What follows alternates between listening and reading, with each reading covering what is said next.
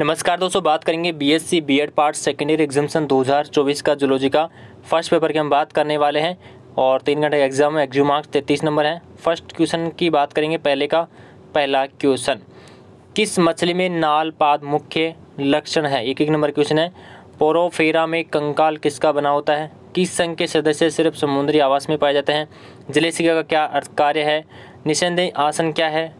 Euglena में किस प्रकार का शोषण होता है? प्रत्यक्ष परिवर्धन को परिभाषित कीजिए। अकायंतरणी क्या है?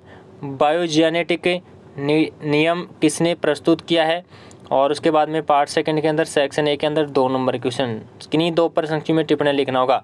सोल जेल सिद्धांत हो गया पार्श्वपादी गमन हो गया, साइकन की कंटिकाई हो गया तीन नंबर आता है, पायला के तंत्र का तंत्र पर एक नियमन लिखना होगा।